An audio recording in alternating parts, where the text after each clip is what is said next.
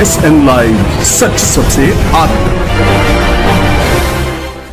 सिवान के दो युवक की नागपुर में नदी में डूबने से मौत, शोक। बड़हरिया थाना क्षेत्र के दो युवकों की महाराष्ट्र के नागपुर में स्नान करने के दौरान मौत हो गई। इस घटना की सूचना मिलते ही स्वजनों का रो रो कर बुरा हाल है।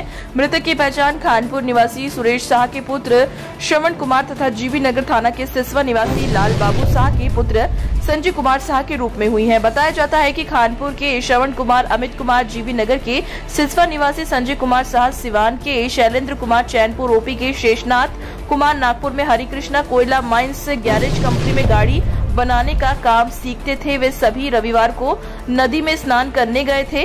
तभी श्रवण कुमार एवं संजय कुमार साहा गहरे पानी में चले जाने के कारण डूब गए। गोताखोरों के माध्यम से उनका शव सोमवार को नदी से निकाला गया। स्नान करने वालों में उनके साथियों ने घटना की सूचना। स्वजनों को दी। इस घटना के बाद स्वजनों का रो रो कर बुरा हाल है।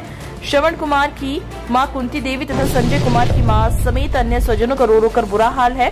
दोनों मृतक के पिता मजदूरी कर परिवार का खर्च चलाते हैं। इस घटना के बाद गाँव में शोक का माहौल है। देश और दुनिया की ऐसी ही खबरों को पाने के लिए जुड़े रहिए हमारे साथ। और हाँ अगर आप वीडियो को फेसबुक पर देख रहे हैं तो हमारे फेसबुक पेज को लाइक करें। और अगर आप यूट्यूब पर देख रहे हैं तो यूट्यूब चैनल को सब्सक्राइब करना मत भूलिए। वीडियो को लाइक कीजिए शेयर कीजिए